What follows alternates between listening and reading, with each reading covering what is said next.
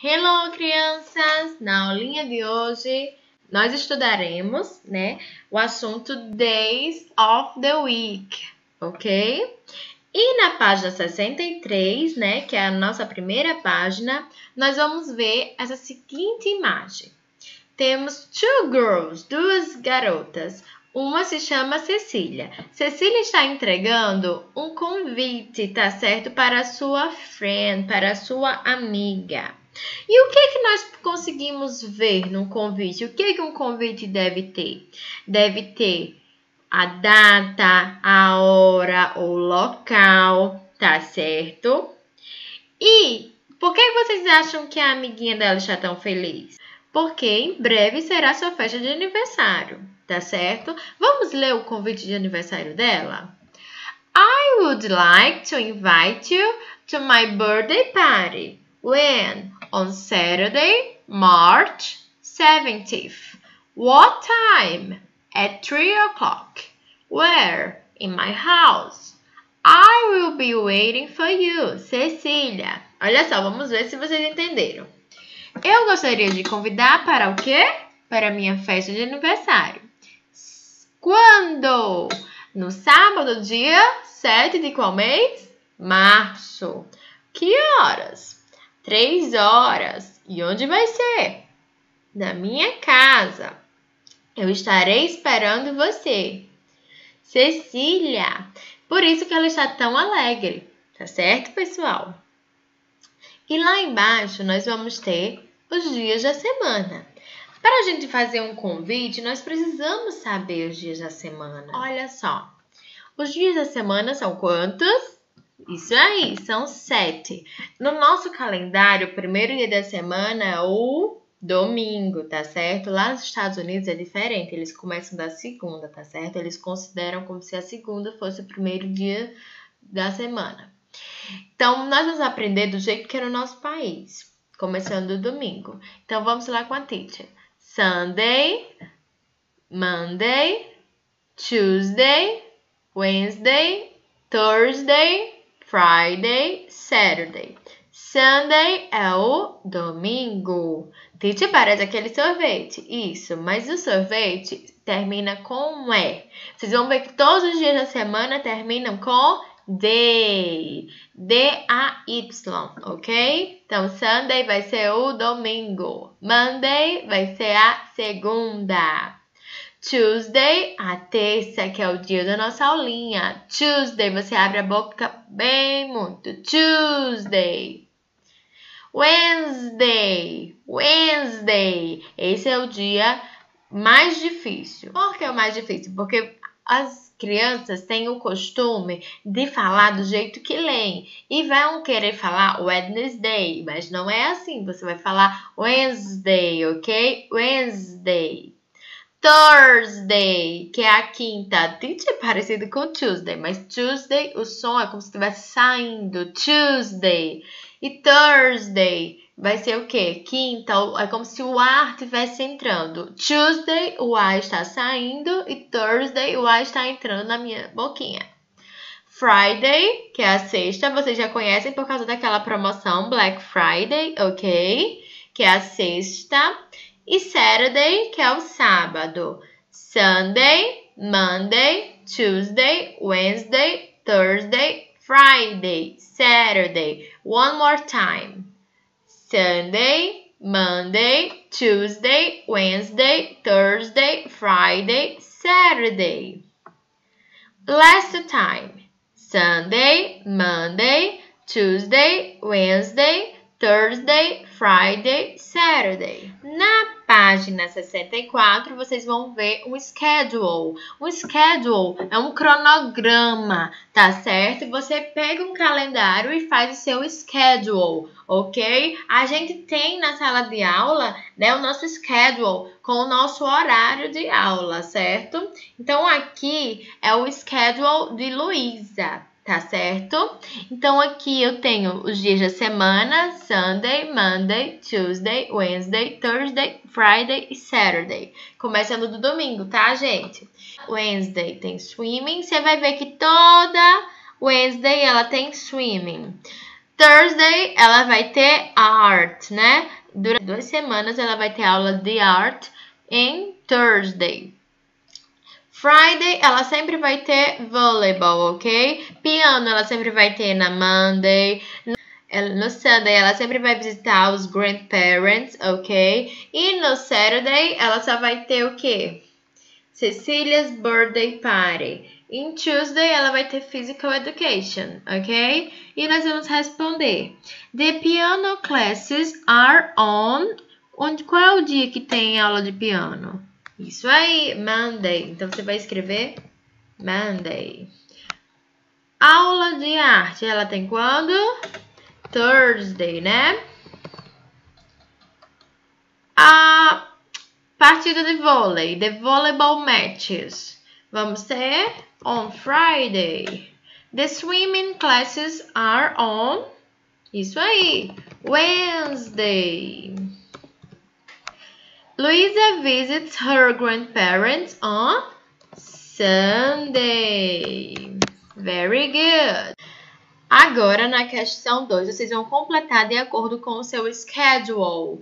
Por exemplo, as suas aulas de inglês. I have English classes on Tuesday, na terça. I have PE classes on. Eu tenho educação física. Aí você vai pensar e vai colocar.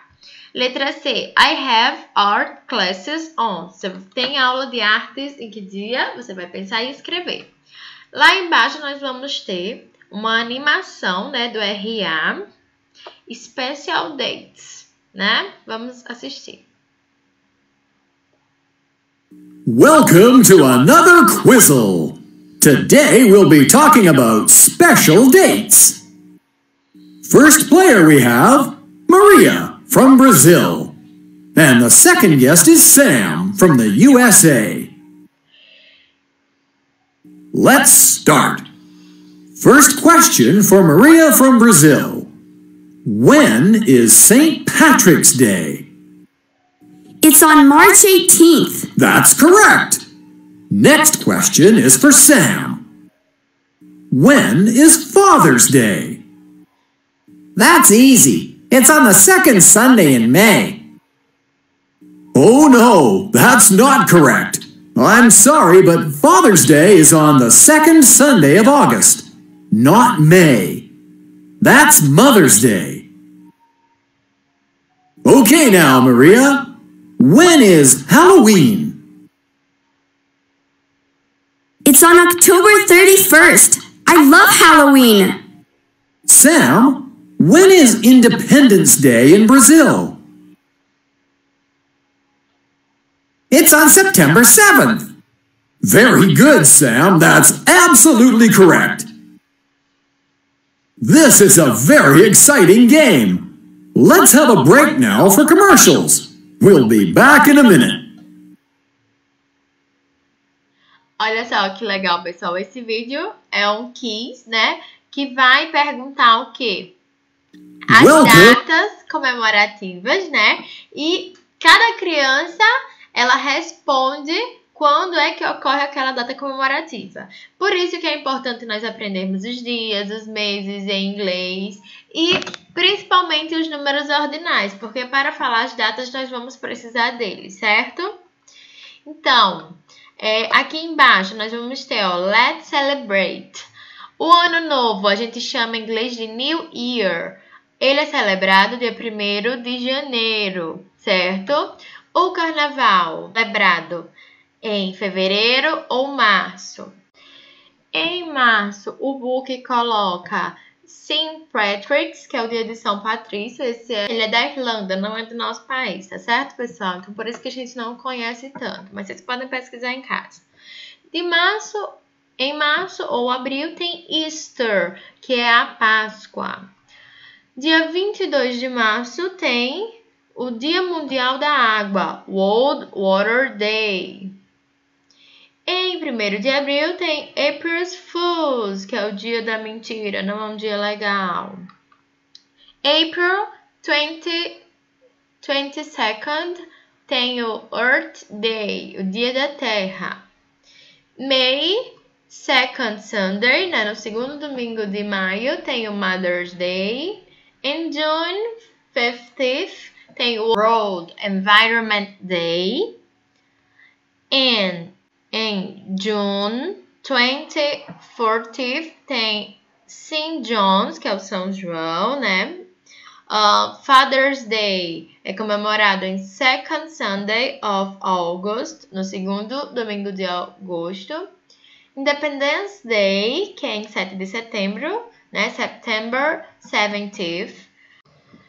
September 22nd comemora-se o World Gratitude Day, que é o Dia Mundial da Gratidão. Uh, October 31st tem o Halloween, que é dos Estados Unidos, não é nosso. December 25th nós comemoramos Christmas, o Natal. Pessoal, vocês vão observar que sempre as datas começam inicialmente com os meses do ano, depois o dia, só que o dia é em numeração ordinal. Titi, onde é que eu encontro essa numeração ordinal? Lá na página 42, tá certo? Teacher, eu quero também revisar os meses do ano, a gente já estudou, mas vamos revisar a pronúncia, tá certo? Vou colocar para vocês, tudo bem? January, janeiro, February, fevereiro, March, março, April, abril, May, maio,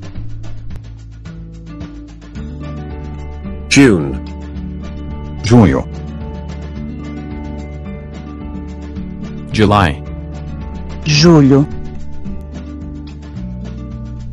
August, agosto,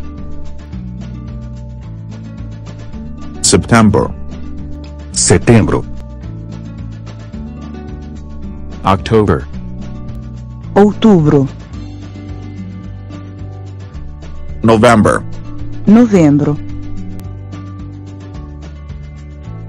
December, dezembro, Nossa última atividade de hoje é o hands-on, né? Na questão 1, você vai escrever em inglês as datas comemorativas, né? Brazilian Celebrations, tá certo? De janeiro, de fevereiro, de março, abril, maio, junho, julho, agosto, setembro, outubro, novembro e dezembro. Teacher, como é que eu escrevo? Você vai escrever da mesma forma que está na página 65. Primeiro mês, depois o dia, em numeração ordinal. Teacher, me lembra aí novamente onde é que estão tá os números ordinais? Página 42, tá certo? Não é só para colocar o número, gente, tem que colocar o símbolo, as duas últimas letras, tá certo? Qualquer dúvida pode me procurar no privado, certo? Bye bye, kisses!